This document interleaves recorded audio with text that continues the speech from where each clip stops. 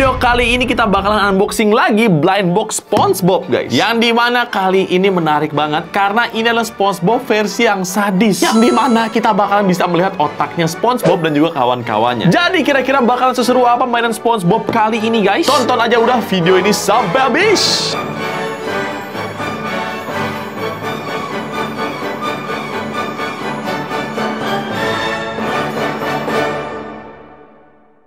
Oke, selamat datang di video unboxing yang lainnya. Kali ini gua pengen unboxing ha! blind box SpongeBob lagi dan kali ini gua nemu di Miniso, guys. Jadi beberapa waktu lalu gua ini lagi ke Miniso gitu kan. Dan gua menemukan kayak semacam harta karun gitu loh. Karena emang ini mainan SpongeBob gua nemu bener-bener di pojokan banget gitu loh. Dan gua ngeliatnya menarik banget karena ini lu bisa lihat sendiri deh. SpongeBob dan juga karakter lainnya otaknya bakalan keluar gitu mainannya bentuknya. Jadi menarik banget kan? Dan karena gue langsung kepincut ngelihat cover boxnya, akhirnya nggak lama gue mikir langsung gue beli. Dan setelah gue tanya ke Minisonya, katanya emang ini yang gue temuin, bener-bener sisa satu ini doang guys. Jadi ya udah tanpa berlama-lama lagi supaya kita tahu kira-kira bakalan sekeren apa SpongeBob kali ini, langsung aja guys kita ke sesi selanjutnya untuk unboxing semua SpongeBob dan juga karakter lainnya ini. Let's go! Oke, jadi ini dia penampakan boxnya guys. Kita akan lihat dulu detail-detail dari boxnya ya. Walaupun gue nggak nafsu-nafsu amat sih, karena ini boxnya udah lumayan jelek sebenarnya. Jadi kalian bisa lihat dari tampak depannya yang kira-kira seperti ini. Ada penampakan SpongeBob dan juga otaknya yang keluar kayak gitu, guys. Dan juga ada karakter-karakter lainnya yang kita bakalan dapetin nanti harusnya. Dan di sini juga ada merek atau produsen dari mainan ini, guys. Namanya adalah Trendy Sound. Jadi kayaknya si Miniso ini collab sama si Trendy Sound ini buat bikin SpongeBob ini, guys. Nah, tampak sampingnya kira-kira seperti ini. Jujur ini sih yang bikin gue gak nafsu karena ini solasinya tuh kayak udah disolasi lagi gitu loh. Jadi kayak nggak begitu rapi sebenarnya. Tuh kalian bisa lihat di sini kayak ada solasi tambelan gitu.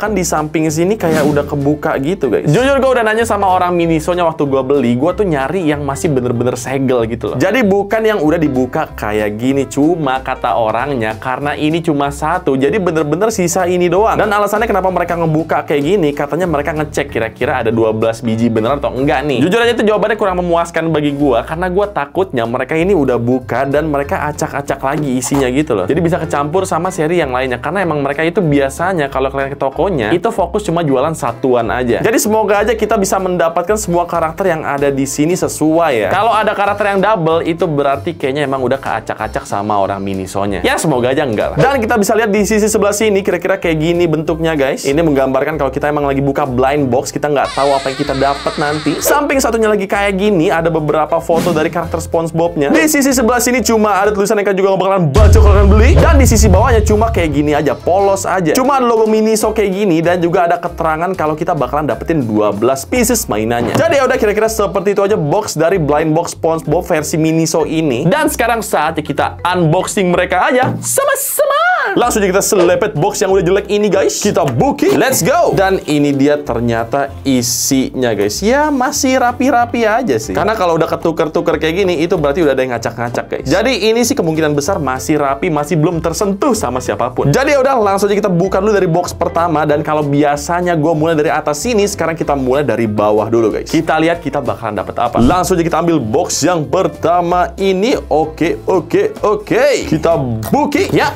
Oh ya. Oke. Oke, ternyata langsung ke expose guys. Oh my god, oh my god. Wow, ternyata PR juga ya, karena kita harus ngerakit dulu nih. Jadi bentar gue buka dulu bagian tubuhnya ini guys. Oke, nah ini dia nih. Kita ternyata mendapatkan Patrick guys. Tapi ini semi Lego sih, karena kita harus ngerakit dulu. Jadi bentar gue rakit dulu ya. PR juga nih. Pertama kita pasang dulu celananya kayak gini guys. Sekarang kita pasang ini bagian otaknya. Oke, dan kita pasangin mikanya kayak gini. Dan satu lagi kayak gitu guys. Next kita pasang tangannya seperti ini. Dan satu lagi seperti itu guys. Nextnya kita pasang kakinya kayak gitu guys. Dan satu lagi kayak gitu. Oke, oke, oke. Dan terakhir finishing dari gua tinggal bagian atas otaknya ini aja. Wala! Ini dia Patrick versi otaknya keluar guys. Jadi kira-kira kayak gitu. Gue jujur nggak expect harus ngerakit dulu sih. Gue kira udah langsung jadi gitu seperti biasa kan. Tapi ternyata kita harus ngerakit dulu kayak gini. Dan ini menariknya adalah kita dikasih spare kepalanya ini buat kita kasih alternatif si Patrick ini guys. Jadi kita bisa bikin dia otaknya nggak keluar, tinggal pasang aja pala atasnya dan juga pasang matanya di sini. Ini gua contohin dulu ke kalian ya. Jadi pertama kita buka dulu mikanya kayak gini guys dan kita bakal ngeliat sempaknya jadinya ya.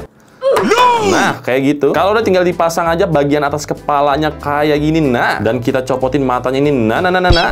Dan tinggal dipasang aja matanya kayak gitu, guys. Jadilah dia Patrick yang bersempak doang. Dan menurut gue emang ini lebih bagusnya pakai Mika sih. Karena biar bikin tangannya nggak kelihatan melayang kayak gini loh. Jadi kalau udah tinggal ditutup aja kayak gini, guys. Dan satu lagi di belakangnya kayak gitu. Nah, ini dia Patrick kalau misalnya otaknya nggak keluar. Gimana menurut kalian? Cukup keren kan sebenarnya? Dan gue ngerti sih kenapa konsep ngerakit kayak gini. Karena kalau kita beli satuan, ini jadi lebih seru karena ada prosesnya. Jadi kalian bisa ngerakit dulu kayak gini sebelum kalian pajang. Dan bahkan kalian juga bisa kasih alternatif lainnya kayak gini guys. Jadi seperti yang gue bilang tadi, ini emang semi Lego gitu lah. Karena bahkan ini stand base-nya aja mirip sama konektornya Lego guys. Jadi kalau mau dipajang tinggal diselipin aja kayak gini dan dia bakalan nempel kayak gitu. Cukup seru sih dan ini experience yang baru buat gue. Dan mainannya juga menurut gue cukup bagus dan menarik loh. Jadi ya udah itu dia box pertama dari gue. Kita mendapatkan Patrick. Sekarang kita bakalan ke box selanjutnya guys. Kita ambil langsung box kedua ini ya guys ya. Kita buki. Wahoo. Let's go. Oke, ternyata kita mendapatkan tuan crab di sini guys. Sekarang saatnya kita rakit dulu. Selepet. Kita pasang dulu badannya kayak gini guys. Jujur agak kecewa sih gue ngelihatnya ini. Karena di sini ada mispen yang cukup parah loh. Tapi nggak apa-apa lanjut lagi aja kita pasang kepalanya ini guys. Dan kita pasang mata dan juga otaknya kayak gini. Nah, iya. Alright.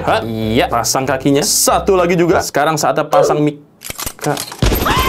Sekarang saatnya pasang mikanya kayak gitu dan bagian belakangnya kayak gini. Nah, dan finishing terakhir kita taruh baling-baling di atas otaknya kayak gini guys. Nah, nah, nah, nah, nah. Kira-kira seperti ini penampakan Tuan Crab kalau otaknya keluar. Jadi seperti biasa bisa dua alternatif, bisa yang kayak gini yang otaknya keluar atau yang normal-normal aja kayak gini guys. Yang di mana ini uniknya matanya jadi duit kayak gitu loh. Jadi kira-kira seperti itu box kedua. Sekarang kita lanjut lagi ke box ketiga. Kita ambil box ketiga ini ya guys ya. Kita buki. Hoi. Oh ya? Let's go! Dan ternyata kita mendapatkan SpongeBob di sini, guys. Dan seperti biasa, dia ini punya dua mode tentunya. Saatnya kita rakit dulu. Kita pasang badannya seperti ini. Kita pasang kakinya. Satu lagi juga kayak gitu. Lanjut kita pasang otaknya kayak gini, guys. Dan kita pasang matanya. Nah, kasih dulu baling-baling sedikit di atasnya kayak gitu. Lanjut kita pasang bajunya dulu kayak gini. Dan bagian belakangnya kayak gitu. Dan udah deh, terakhir tinggal pasang aja hidungnya kayak gini, guys. Nah, ini dia SpongeBob kalau otak otaknya keluar coy. Dan tentu aja kita punya satu alternatif lagi yang di mana matanya normal dan juga otaknya nggak keluar. Ya, jadi itu dia tadi box ketiga guys. Sekarang kita move on ke box keempat. Kita ambil box selanjutnya yang ini ya guys ya. Selepet. Oh ya. Dan kita lihat isinya siapa. Oke, ternyata kita mendapatkan SpongeBob lagi guys. Yang kalau kita rakit kira-kira seperti ini bentuknya. Gimana menurut kalian SpongeBobnya? Keren banget atau enggak nih? Sebenarnya menurut gue ini cukup keren guys. Cuma ini gue ngelihat ada beberapa cat yang kurang rapi. Nih, kalau kalian perhatiin di bagian bajunya ini tuh kayak kurang rapi gitu loh. Jadi sangat amat disayangkan sih. Cuma nggak apa-apa minor sekali karena masih ada lagi faktor keren lainnya dari mainan ini. Yaitu ini ketika dibuka kita bisa ngelihat sempaknya SpongeBob tentunya. Tinggal dibuka aja kayak gini. Nah, kita bakalan bisa ngelihat kolornya SpongeBob kayak gitu guys. Udah kayak di filmnya dia pakai kolor beneran. Jadi terserah kalian nih pengen pasang dia nggak pakai celana kayak gini atau bisa dipakein bajunya juga kayak gitu. Dan tentunya bisa diganti juga alternatifnya. Jadi tinggal dipasang aja kepala dan juga matanya kayak gini guys. Dan tinggal dipakein baju aja. Dan jadilah dia bentuk SpongeBob yang normal kayak gini guys. Jujur gue suka banget sih ngeliatnya karena mikanya ini bikin dia kelihatan unik banget. Jadi itu dia box keempat. Sekarang kita lanjut ke box kelima. Kita ambil box kelima ini guys. Slepin. Oh ya? Ya, dan ternyata kita mendapatkan Patrick lagi, Patrick lagi. Dan sekarang saatnya kita rakit dulu kayak gini. Nah, ini dia hasilnya guys. Yang di mana di sini Patrick pakai kostum merah kayak gini dan juga otaknya keluar. Jujur gue suka banget konsep kostum-kostumnya ini guys. Yang di mana kita jadi kayak punya pilihan gitu, entah kita pengen pakai dia kostum kayak gini, atau kita buka aja kayak gini dan kita masih bisa ngelihat detail dalamnya ini guys. Jadi mereka tetap bikin sempaknya kayak gini loh. Dan gak cuma itu doang, kita juga bisa ganti alternatif lainnya kayak gini. Jadi itu dia box kelima, sekarang kita lanjut ke box keenam. Kita ambil box yang ini ya guys ya. Slepet. Oh yeah. Let's go. Ya, dan ternyata kita di sini mendapatkan ini Squidward nggak sih? Ya benar kita mendapatkan Squidward. Sekarang saatnya kita rakit dulu. Nah, jadi kira-kira seperti ini penampakan Squidward dalam balutan baju merah guys. Dan so far so good. Ini detailnya ajib banget. konsepnya menarik banget dan kita punya satu alternatif lagi yang di mana ini adalah bentuk Squidward kalau pakai baju merah tapi otaknya nggak keluar. Ya normal aja gitu loh, mukanya jelek kayak gini. Jadi itu dia box ke-6, sekarang kita lanjut lagi ke box ke-7. Kita langsung ambil aja ya guys ya. Slepe. Oh ya. Ya, kita lihat kita dapat siapa? Satu, dua, tiga. Oke, ini mah kita dapat Squidward lagi, bos. Gak apa-apa, kita langsung rakit aja cumi-cumi Grumpy ini, guys. Satu, dua, tiga. Nah, ini dia bentuknya Squidward kalau udah dirakit dan otaknya keluar. Dan ceritanya ini dalam balutan baju yang sehari-harinya, guys. Baju warna coklat kayak gini. Dan tentunya dia punya satu alternatif lagi, guys, yang bentuknya normal aja kayak gini. Dan sumpah ya, ini muka Squidward ya grumpy banget gitu loh. Karena matanya ini kayak lebih beler, coy. Beda sama yang tadi. Kalau yang tadi tuh matanya lebih melotot kayak gini, sedangkan yang ini jauh lebih bete lagi mukanya. Jadi yaudah, itu dia box ke-7. Sekarang kita lanjut lagi ke box ke-8.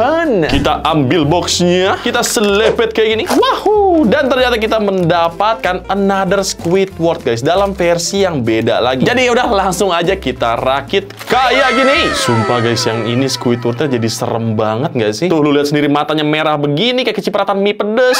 Terus ini juga dia abu-abu gitu loh. Kesannya kayak lagi apokalips gitu loh. Kayak jadi versi zombie gitu nggak sih? Dan coba kita lihat versi yang normalnya ya guys. Kira-kira kayak gimana bentuknya. Ini mah fix Squidward jadi zombie nggak sih guys? Karena lu lihat tuh detail-detailnya bener-bener bikin dia kelihatan kayak soulless gitu loh. Kayak nggak punya jiwa dan lagi kerasukan gitu loh. Anyway, jadi itu dia box ke-8. Ternyata kita mendapatkan Squidward tiga kali berturut-turut walaupun beda varian. Sekarang kita lanjut lagi ke box ke-9 guys. Kita ambil boxnya seperti ini. Kita selepet kayak gitu. Oh ya. Wahoo. Dan ternyata kita di sini mendapatkan SpongeBob guys. Tapi kok warnanya begini ya? Supaya kebayang bentuknya kayak gimana, sekarang kita rakit dulu. Satu, dua, Tiga, oke kira-kira seperti itu penampakannya. Sumpah ini serem banget sih. Kayak Spongebob keracunan gitu coy. Pucet gini warnanya, bingung gue Dan coba kita lihat ya bentuk yang normal kira-kira kayak gimana. Langsung kita transform. Satu, dua, tiga. Oke, kira-kira kayak gitu bentuknya. Kalau ini gue ngeliat mukanya kemungkinannya dua nih Antara dia keracunan atau mabok. Tapi ini menurut gue desain yang menarik banget. Karena gue nggak expect Spongebob bentuk dan juga warnanya kayak gini Tapi tetap keren pas jadi mainan. Jadi ya itu dia tadi box ke-9 guys. Sekarang kita lanjut lagi ke box ke-10. Langsung aja kita ambil boxnya ya guys ya. Kita selepet kayak gini. Dan kita lihat kita dapat siapa. Satu,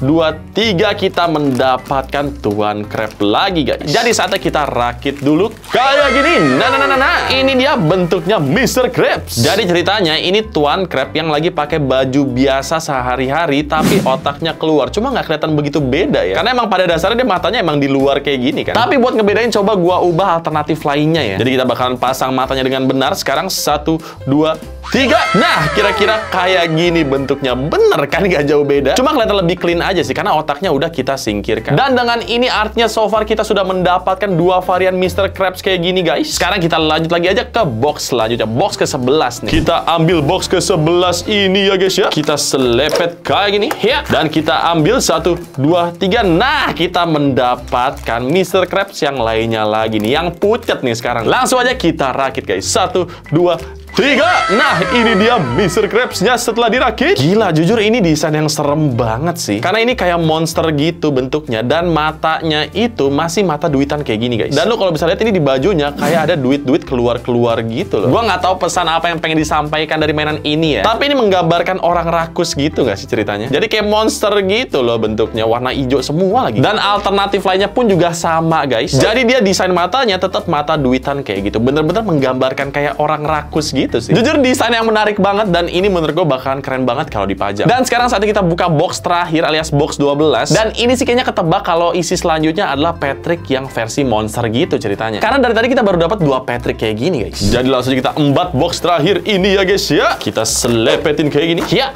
Dan kita keluarkan isinya satu, dua, tiga. Nah kan bener kan. Kita beneran mendapatkan Patrick versi monster kayak gini. Sekarang saatnya gua rakit dulu. Satu, dua, Tiga, nah, nah, nah, nah, nah, ini dia bentuk Patricknya kalau jadi monster, guys. Jujur, ini bentuknya serem banget gak sih, guys? Lu lihat tuh senyumnya Patrick, serem banget, coy. Creepy banget kayak gitu. Dan matanya pun juga beda ya. Ini lebih kayak matanya Squidward gitu gak sih? Ini kayaknya sih ada maksud tersembunyi dari desainernya buat bikin mainan kayak gini, guys. Gua nggak tahu maksudnya apa, tapi jelas banget mereka bikinnya cukup creepy kayak gini. Nih, lu lihat aja semuanya, bener-bener serem banget, guys. Kayak mimpi buruk gitu gak sih? Dan sekarang gue pengen coba lagi alternatif lainnya ya. Yang di mana matanya bakalan gue pindahin ke sini, guys. Satu, dua, tiga. Nah, ini dia bentuknya. Sumpah ini serem banget gak sih? Mulutnya senyum, matanya terbelalak kayak gini. Udah kayak monster beneran, bro. Tapi itu dia box terakhir, guys. Box ke-12. Yang di mana gue mendapatkan si Patrick monster yang super creepy ini. Dan gue jujur suka banget sama mainan kali ini. Walaupun agak ngerepotin pas ngerakitnya, tapi menurut gue desainnya bagus-bagus dan unik-unik banget. Rasanya udah kayak ngoleksi desainer toys gitu loh. Jadi overall, ini adalah blind box SpongeBob lainnya yang seru dan menawarkan konsep yang fresh banget bagi gue. Selain desainnya yang unik-unik banget dan berasa kayak desainer toys, ini blind boxnya juga beda konsepnya, di mana kita harus ngerakit dulu sebelum kita pajang. Jadi kayak ada effortnya dulu gitu loh. Minusnya adalah paling masih ada mispen yang kelihatan kayak gini, cuma dikit banget, minor banget. Sama paling satu lagi elemen of surprise-nya berkurang karena mereka nggak punya secret karakter. Jadi kita udah pasti dapetin semuanya kalau kita beli satu set kayak gue gini. Tapi gimana menurut kalian guys? Berapa rating dari 1 sampai 10 buat blind box SpongeBob Miniso 1 ini? Silahkan komen di bawah. Dan sekarang buat yang harganya berapa? Boy, ini blind box SpongeBob dari Miniso dijual dengan harga satuannya 139.900. Dan waktu gue beli satu set kayak gini ya udah tinggal dikali 12 aja yaitu jadi sekitar 1.700.000 guys. Jadi lucunya nggak ada diskon sama sekali kalau kita beli satu set kayak gini. Nah, gimana nih menurut kalian? Worth it gak? Ini dijual dengan harga 139.900 satuannya guys. Silahkan taruh komentar kalian di bawah dan juga seperti biasa buat kalian yang pengen beli langsung aja ke Miniso terdekat di rumah kalian. Semoga masih ada ya. Jadi sekian lu video dari gua kali ini. Kalau misalnya kalian suka jangan lupa di like, comment dan juga subscribe. Nama gue Medrin Ali. Semoga kalian betah di channel gue dan ingat mainan adalah teman. Hmm. Hmm.